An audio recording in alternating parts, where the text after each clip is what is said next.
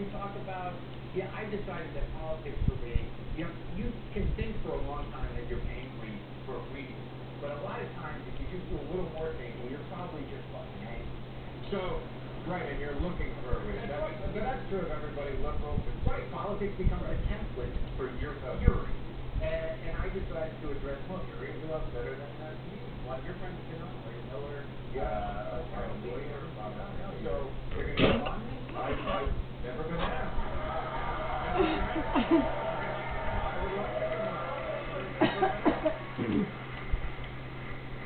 All right, um, I know you, hold it, this is not I. I, I, you talk a lot about the environment, and I wanna, I'm gonna kind of for this too. It was hundred and fifteen degrees in Minnesota today. In Minnesota? Yeah, Minnesota. That must be tough. One fifteen, Minnesota.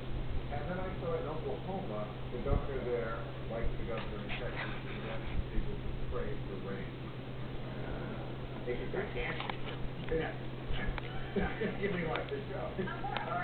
American. Is there is there a connection between a country that thinks you can pray for rain and one that may be experiencing what they call global warming?